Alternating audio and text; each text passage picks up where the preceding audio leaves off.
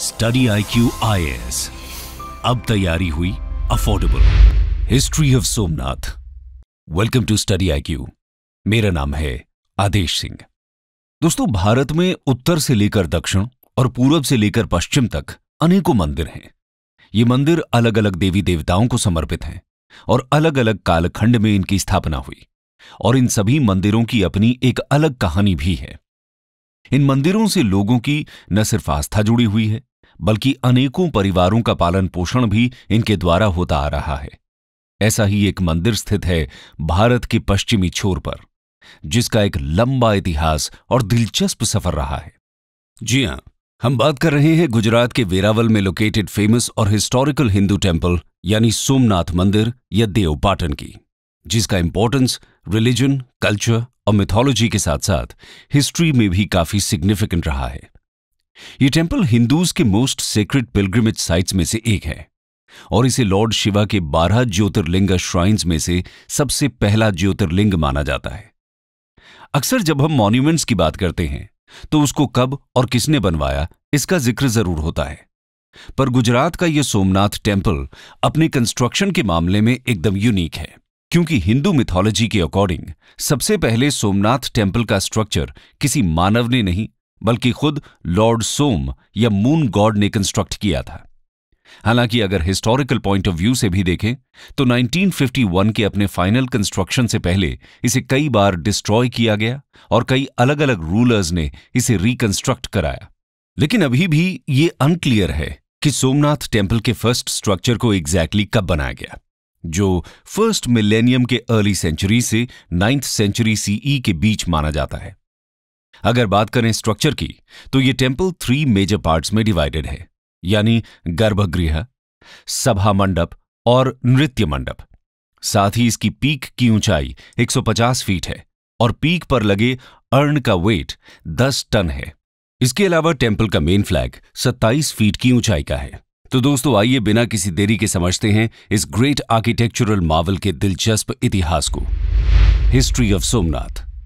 दोस्तों, सोमनाथ की site ancient time से ही एक पिलग्रिमेज साइट रही है, जिसकी वजह थी इसका एक त्रिवेणी संगम होना, यानी कपिला, हिरन और सरस्वती रिवर का कॉन्फ्लुएंस और मिथोलॉजी के हिसाब से कहा जाता है कि जब एक कर्स के चलते मून गॉड सोम अपनी लस्ट यानी चमक खो देते हैं तब इसी साइट पर सरस्वती रिवर में नहाने से उन्हें अपना लस्ट वापस मिल जाता है, यानी जिसे हम वैक्सिंग और वेनिंग ऑफ़ मून के नाम से जानते हैं।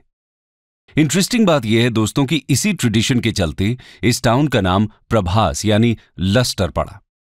इस टाउन के ऑल्टरनेटिव नेम्स जैसे सोमेश्वर या सोमनाथ भी इसी ट्रेडिशनल टेल से अराइज हुए हैं। हालाँकि सोमेश्वर नाम का हिस्ट्री में मेंशन नाइन्थ सेंचुरी के स्टार्टिंग से देखने को मिला। इसका मेंशन 805 से 833 एडी तक रूल करने वाले गुर्जर प्रतिहार किंग नागभट्टा टू के रिकॉर्ड्स में मिलता है, जिसमें कहा गया है कि उन्होंने सौराष्ट्र में कई पिलग्रिमेज साइट्स विज़िट की इंक्लूडिंग सोमेश्वर। हालाँकि इस रिकॉर्ड पर हिस्टोरियन रोमिला थापर कहती हैं कि ये रिकॉर्ड्स टेंपल एग्जिस्टेंस को इंप्लाई नहीं करते हैं, और उस समय तक ये बस एक पिलग्रिमेज साइट मात्र ही था। हालाँकि ऐसा माना जाता है कि पॉसिबली चालुक्य किंग मूल राज ने सोम यानी मून गॉड को डेडिकेटेड टेम्पल्स पहली बार इस साइट पर 997 सीई में बनाए। लेकिन कुछ हिस्टोरियंस ये भी मानते हैं कि शायद मूल राज ने बस पहले से बने एक स्मॉलर टेंपल को रेनोवेट कराया होगा। 1950 के बाद हुए सोमनाथ साइट के एक्सकेवेशंस ने सोमनाथ टेंपल के अर्लीस्ट नोन वर्जन के कुछ फैक्ट्स को रिवील किया। एक्सकेवेशंस में एक टेंथ सेंचुरी टेंपल के फाउंडेशन स्टोन्स मिले और साथ ही एक टेंपल के वेल डेकोरेटेड वर्जन के नोटेबल ब्रोकिंग पार्ट्स और डिटेल्स मिले जिसे गुजराती हिस्टोरियन मधुसूदन ढाकी महमूद गजनी द्वारा डिस्ट्रॉय किया हुआ टेंपल मानते हैं साथ ही एक्सकेवेशन करने वाले आर्कियोलॉजिस्ट बी के थापर कहते हैं कि नाइन्थ सेंचुरी में सोमनाथ पाटन पर एक टेंपल स्ट्रक्चर डेफिनेटली था हालाँकि उससे पहले ऐसा कुछ नहीं था the invasion of Mahmud of Ghazni Somnath को लेकर सबसे इन्फेमस इवेंट 1026 में हुआ। जब भीमा वन के रूल में Turkish Muslim ruler Mahmud of Ghazni ने सोमनाथ टेंपल को रेड और प्लंडर किया।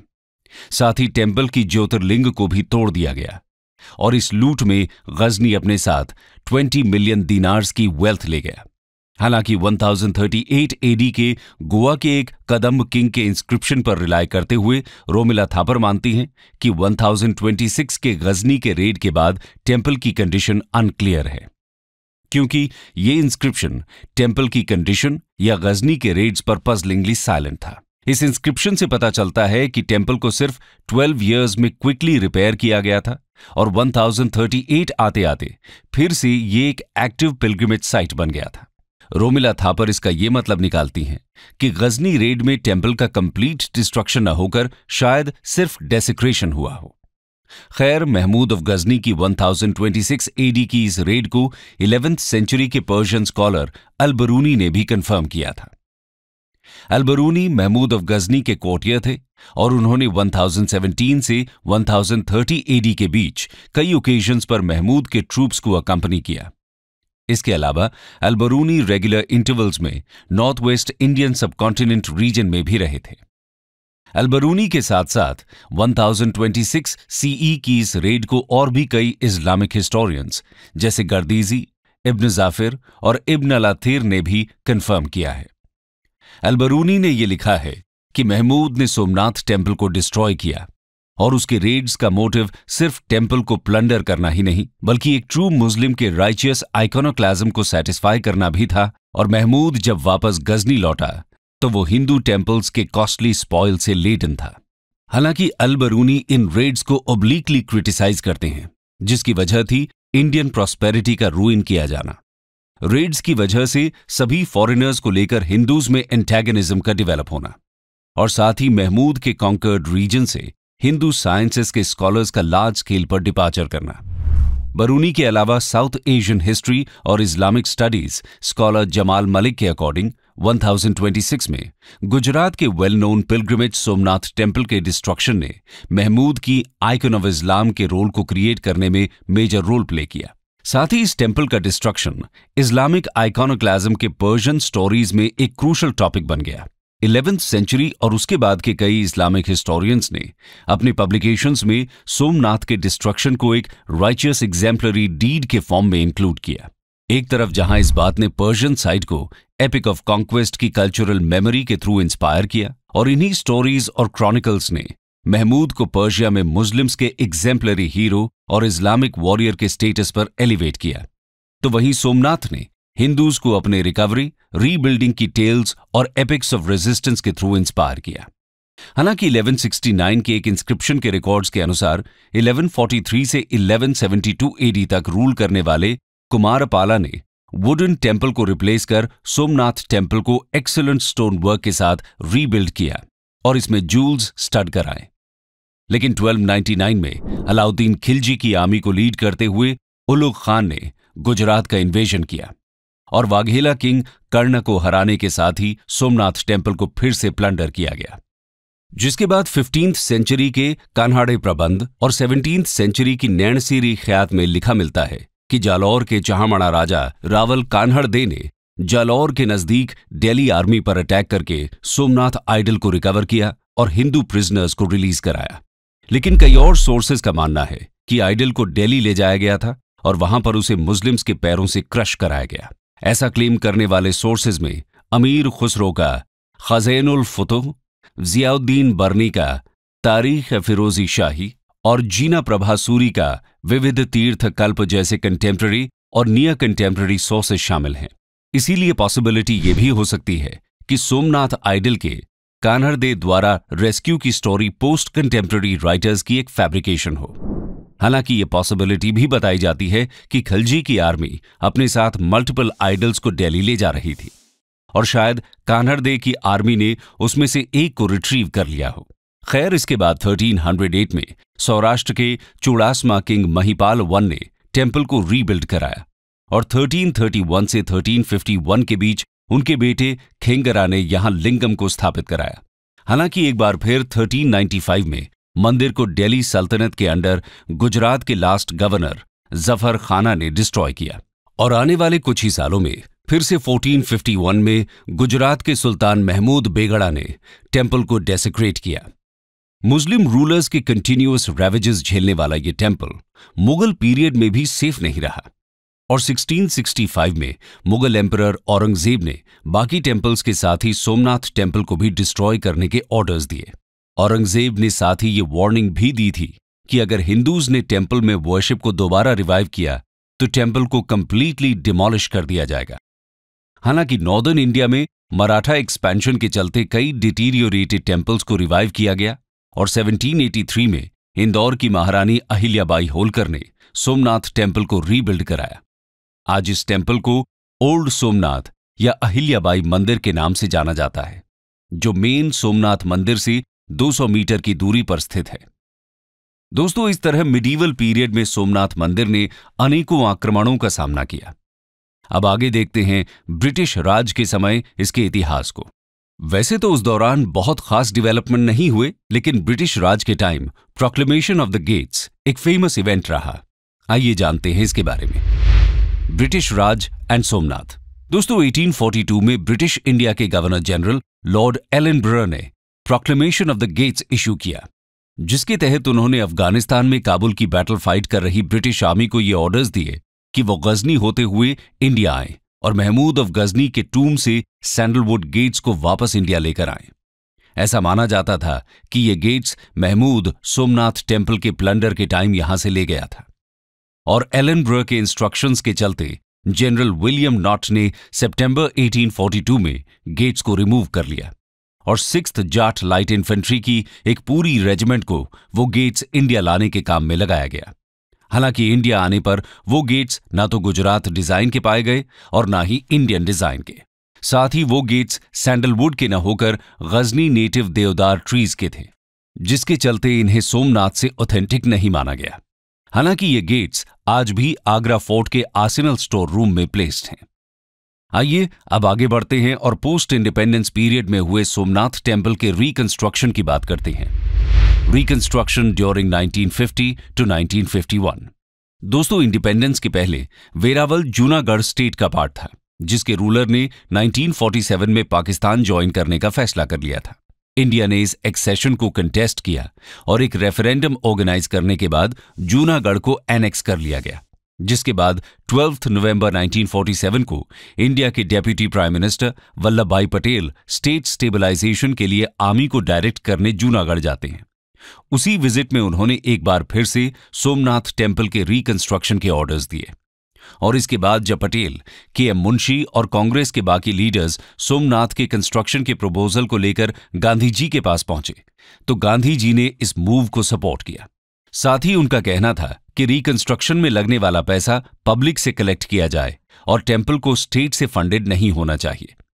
जहाँ एक तरफ़ प्रोजेक्ट से एसोसिएट होना गांधी जी ने खुद के लिए प्राउड मोमेंट बताया था तो वहीं रेनोवेशन से पहले ही गांधी और पटेल की डेथ हो गई, जिसके बाद कंस्ट्रक्शन का काम फिर के एम मुंशी के अंडर कंटिन्यू रहा, जो कि उस समय प्राइम मिनिस्टर पंडित जवाहरलाल नेहरू के कैबिनेट में food and civil supplies minister थे। कंस्ट्रक्शन फ़ेज़ में अक्टूबर 1950 में रूइंस को पुल डाउन किया गया। साथ ही टेंपल साइट पर प्रेजेंट मॉस्क को कंस्ट्रक्शन व्हीकल्स की हेल्प से कुछ किलोमीटर्स दूर शिफ्ट कर दिया गया। और फाइनली 11 मई 1951 को के एम मुंशी के इनविटेशन पर रिपब्लिक ऑफ़ इंडिया के फ़र्स्ट प्रेसिडेंट राजेंद्र प्रसाद ने टेंपल के लिए इंस्टॉलेशन सेरेमनी को परफॉर्म किया। दोस्तों, इस हिस्टोरिकली सिग्निफिकेंट टेंपल की हिस्ट्री को समझने के लिए सोमनाथ टेंपल साइट और कोस्ट लाइन को आर्कियोलॉजिकल एविडेंसेस के लिए कई बार एक्सकेवेट किया गया। आइए समझते हैं इस मॉन्यूमेंट के आर्किटेक्चरल हिस्ट्री को। आर्किटेक्चरल हिस्ट्री दोस्तों, सबसे मेजर एक्सकेवेशन टेंपल के पोस्ट इंडिपेंडेंस रिकंस्ट्रक्शन के पहले 1950-51 में कंप्लीट किया गया। जिसे आर्कियोलॉजिकल सर्वे ऑफ़ इंडिया के डायरेक्टर्स में से एक बी के थापर लीड कर रहे थे। बी के थापर की स्टडी ने टेंथ सेंचुरी या उससे पहले के एक लार्ज टेंपल के डायरेक्ट और सब्सटैंशियल एविडेंस प्रेजेंट किए।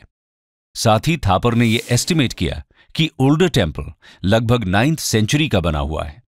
तो वहीं दूसरी तरफ़ इंडियन टेंपल आर्किटेक्चर के स्कॉलर ढाकी के अकॉर्डिंग ये कंस्ट्रक्शन टेंथ सेंचुरी में 960 से 973 सीई e के बीच हुआ था इसके अलावा थापर स्टडी में कई आर्टिफैक्ट्स और रूइंस एंशियंट स्क्रिप्ट के एविडेंसेस के साथ पाए गए, जो बेसिकली ब्राह्मी या उसके बाद की प्रोटो नागरी या नागरी स्क्रिप्ट्स थीं। दोस्तों एंशियंट स्क्रिप्ट्स में मिले ये एविडेंसेस सोमनाथ पाटन की एंटिक्विटी को लगभग फ़र्स्ट मिलेनियम कंफर्म करते हैं हालाँकि दोबारा सोमनाथ टेंपल के पास कुछ सोमनाथ पाटन साइट्स को 1970s में एम के धावलिकर और जेड डी अंसारी की लीड में एक्सकेवेट किया गया। इस बार कई लोकेशंस पर डीपर डिगिंग्स की गईं, जिसने ह्यूमन सेटलमेंट के फाइव पीरियड्स के एविडेंस रिपोर्ट किए। इसके बाद 1992 में एम के धावलिकर और इंडस वैली स्टडीज़ के लिए फ़ेमस आर्कियोलॉजिस्ट ग्रेगरी पौशल ने प्रभाष पाटन पर अपनी आर्कियोलॉजिकल डिस्कवरीज के एनालिसिस की रिपोर्ट सबमिट की और इनकी एनालिसिस में Somnath site pre second millennium BCE period से ही एंशियंट ह्यूमन सेटलमेंट के एविडेंसेस शो करती है। साथ ही उन्होंने इसमें एक पीरियड को प्री हरप्पन फ़ेज़ के फॉर्म में भी डेट किया है। लेकिन ये डिस्कवरीज या तो सिरेमिक्स थीं या वेयर्स और ज्वेलरी यानी उन्हें कोई भी एंशियंट टेंपल पार्ट्स नहीं मिले थे। दूसरी तरफ़ चार्ल्स हर्मन की क्रिटिकल रिव्यू के अकॉर्डिंग जो भी एविडेंसेस अवेलेबल थे, उनमें से कोई भी pre first millennium BCE era के सोसाइटी और कल्चर से डायरेक्ट लिंक्ड नहीं था। लेकिन वो कहते हैं कि इस बात के परसुएसिव एविडेंस मिलते हैं कि प्रभास पाटन एक अर्ली हड़प्पन साइट थी, जहाँ सेडिमेंट्री फ़ार्मिंग के साथ कैटल शीपिंग भी प्रैक्टिस की जाती थी। हालाँकि इसके अलावा जो प्रभास पाटन माउंट्स एक्सकेवेट किए गए, वो 2000 से 1800 बीसीई के कंटिन्यूड पोस्ट हड़प्पन सेटलमेंट्स के एविडेंस शो करते हैं। कंक्लूजन दोस्तों, ये थी कहानी इस फ़ेमस मॉन्यूमेंट की, जो हिस्टोरिकल इंसिडेंट्स के साथ साथ हिंदुइज्म के फ्रीक्वेंट अप एंड डाउन का भी इंपॉर्टेंट सिंबल रहा। कई फॉरेन इन्वेजन्स और स्ट्रक्चरल डैमेजेस के बाद भी इस टेंपल का एक एक्टिव पिलग्रिमेज साइट बने रहना न सिर्फ़ इस मंदिर की इंपॉर्टेंस को, बल्कि हिंदुइज्म के रेजिलियंट नेचर को भी रिप्रेजेंट करता है। इसके अलावा इस टेंपल के रिकंस्ट्रक्शंस कंटेम्प्रेरी इंडियन सोसाइटी के कल्चरल हेरिटेज और कल्चरल मेमोरी को बनाए रखने के एफर्ट्स को भी दिखाता है। दोस्तों, सोमनाथ टेंपल के टूरिज़्म को बढ़ाने के लिए और लोकल पॉपुलेशन के वेलफेयर को इंश्योर करने के लिए उस रीजन में मॉनेटरी इन्वेस्टमेंट्स एक बड़े बूंद साबित होंगे और प्रेजेंट गवर्नमेंट द्वारा इस दिशा में लिए जा रहे इनिशिएटिव्स वाकई प्रेजवर्दी हैं। स्टडी आई क्यू आई अब तैयारी हुई अफोर्डेबल